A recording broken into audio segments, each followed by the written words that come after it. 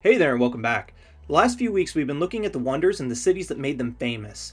But today's wonder is going to ask us the age old question Is it better to be famous or infamous? The Temple of Artemis was said to be a thing of beauty.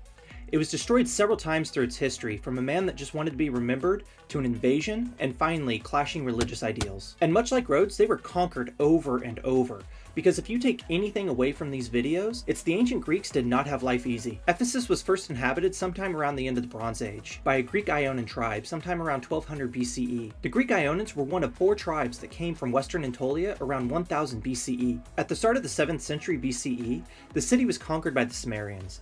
This brought the city under the rule of the Lydian kings, but along with this came new prosperity for the city. The city started to thrive, became one of the richest cities in the Mediterranean. The city was also famed for being a center of learning and fair treatment to all. One of the most famous ancient Greek philosophers was born in the city around 500 BCE, named Heraclitus. He spent his life trying to figure out how the world was formed. The city of Ephesus also treated women in a way that modern women have been trying to take and be treated for years. They enjoyed all the same rights and privileges that their male counterparts enjoyed, and I wouldn't expect anything less from a city that was said to be founded by Amazons and held a goddess in such high regards. They were allowed to become painters, sculptors, artists, anything that they wanted to be. The city of Ephesus had a very rocky relationship with their neighbor, the Kingdom of Lydia. They resisted being conquered by them for years, all the time adopting new traditions and cultures from Lydia. But sometime around 560 or 550 BCE, they were finally conquered by Lydia. They succumbed to the king Croesus. The Lydian king Croesus was known for his wealth, which he is said to have gotten from the river Pactolus, the same river where King Midas went and got rid of his Midas touch, making the river's sands rich with gold.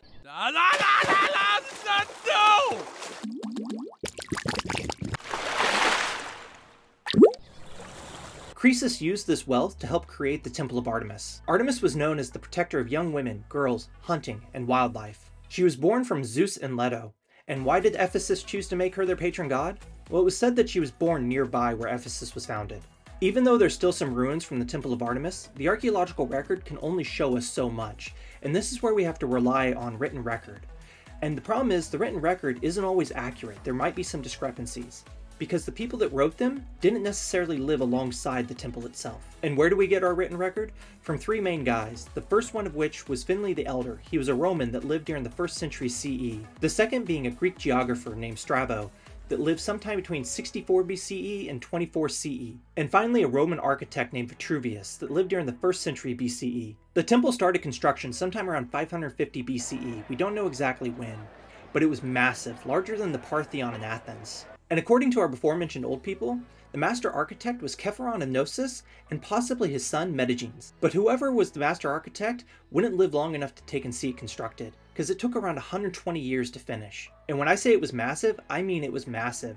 It measured about 129.5 meters long and 68.6 meters wide. There were 127 columns, each at a height of 18.3 meters and a diameter of 1.2 meters. The columns were arranged in a double row around all four sides of the temple, and the columns that stood on the exterior of the building all depicted reliefs of ancient Greek mythology. And the ancient Greeks had enough forethought to build the temple on marshy ground to help prevent any damage from earthquakes.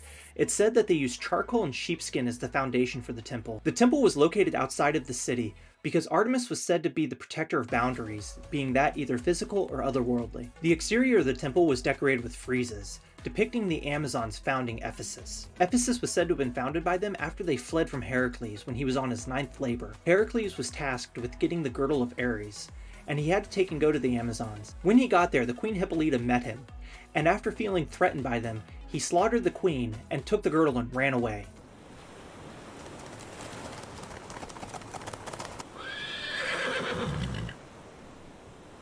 Inside the temple, there was a statue of Artemis made of cedar wood, but it didn't depict Artemis in her normal form, standing with a bow and arrow. Instead, it depicted her as the Anatolian earth goddess Cybele. Cybele was a pre Greek god, and they incorporated a lot of Cybele's traits into that of Artemis for the Greek mythology. Now we arrive at the question I asked at the beginning is it better to be famous or infamous? Well, on the 21st of July in 356 BCE, a man put this to the test. His name was Herostratus, and he set fire to the temple's roof because he wanted his name to be remembered for all of eternity. But the people of Ephesus declared that his name should not be recorded.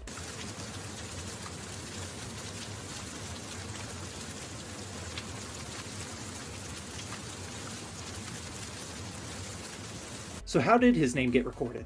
Well, we don't really know. All we know is that the Greek geographer Strabo recorded it from somebody else's work that is now lost to us. And where was Artemis when the temple was being burned down? Well, according to Plutarch, she was off helping deliver none other than Alexander the Great.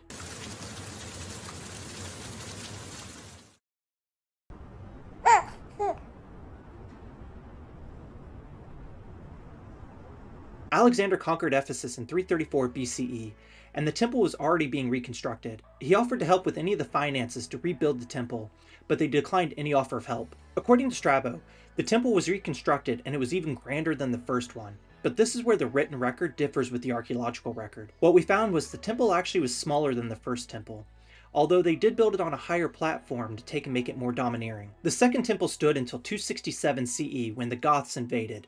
They plundered the temple for what it had and then they destroyed it. And because the people of Ephesus couldn't be kept down, they rebuilt the temple again. And this one only stood to 401 CE, when Roman Emperor Theodosius I declared that all pagan practices be banned and a Christian mob destroyed the temple. But this time, unfortunately, there was no rebuilding it. They let it sit in ruins, slowly being reclaimed by the earth.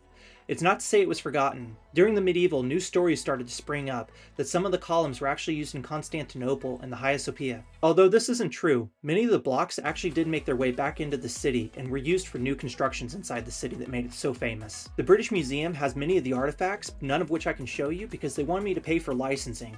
And you know, it's kind of ironic that they're asking me to pay for licensing of stuff that they stole. So if you ever make your way to Turkey and you find yourself there, you can see what the British decided to leave behind. I want to thank you all for watching and I want to thank the patrons.